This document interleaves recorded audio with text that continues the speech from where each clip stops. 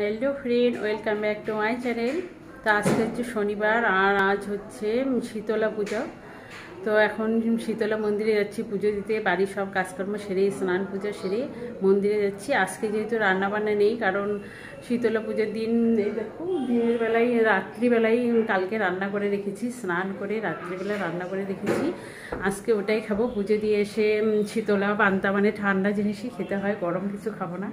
তো কালকে রাত্রিবেলায় যা রান্না করেছি সেটাই ছেলেকে আর ওর বাবাকে দিলাম খেতে, ওরা খেয়ে নিয়েছে, আমি এখন মন্দিরে যাচ্ছি, আমি তো এখন উপবাস, পুজো দিয়ে এসে পান্তা খাব, শীতলা পান্তা সেটাকে বলে, সেটাই নিয়ম আমাদের, তো যাচ্ছি, সব রেডি করে নিয়েছি, তো চলো সঙ্গে থাকো, দেখতে থাকো, আজকে শীতলা পূজার বড় ব্যস্ত চলছে।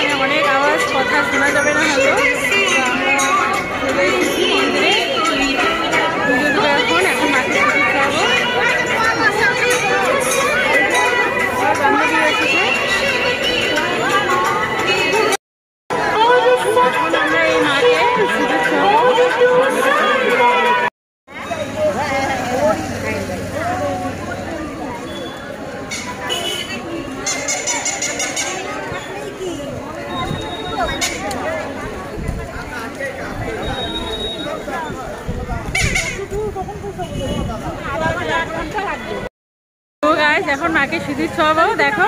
বিশাল লম্বা লাইনে দাঁড়িয়েছি, অনেকটা দূরে, প্রায় হাফ কিলোমিটার দূরে দাঁড়িয়েছি। এই লাইনে দাঁড়িয়ে এখন সিঁদুর ছোয়াতে হবে। তো ভাগ্যিস রোদ্রুটা নেই ওয়েদারটা বেশ ভালো দেখো এখনও লাইন দাঁড়িয়ে এখন অনেকটাই অনেক বড় লাঞ্চ শেষ করে প্রায় আর একটু আছে হ্যাঁ হ্যাঁ আগত সকল ভক্তবৃন্দকে জানাই আন্তরিক প্রীতি ও শুভেচ্ছা। মন্দির কমিটির পক্ষ থেকে মন্দির উন্নয়ন মুক্ত হস্তে দান করুন। যে সমস্ত মা ও বোনেরা মাকে সুযোগ ঠাকুরকে সিঁদুর চেয়ে দেখো এখন নিজেরা সিঁদুর খেলছে এভাবে সবাই চিনি না বেশিরভাগকেই চিনি না তবে সবাই সবাইকে সিঁদুর পড়েছে আমিও পড়েছি। তো সেভাবে ঠিকঠাক ভিডিওটা করতে পারছি না চেষ্টা করছি করার। পক্ষ থেকে আগত সকল ভক্তবৃন্দকে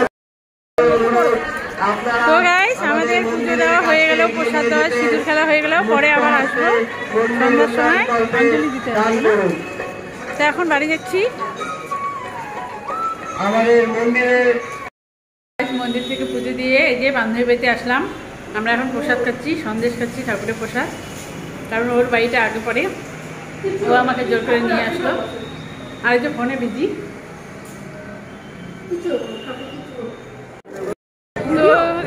এখন বাজে সন্ধ্যা ছটা, সাড়ে ছটা।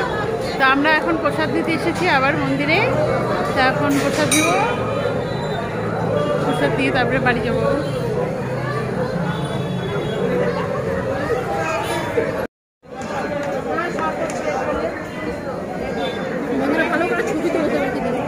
ছবি তো তখন ওখান থেকে সংগ্রহ করবেন আমাদের দুপাশে প্রসাদ দেওয়া আছে মন্দিরের রয়েছে আমাদের সন্দেশ কাউন্টার এবং রয়েছে আপনারা বাঁ পাশে এসে গ্রহণ করবেন এবং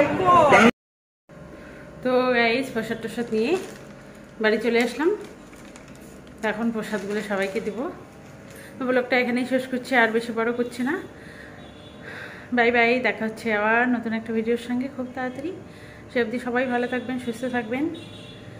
Bye bye.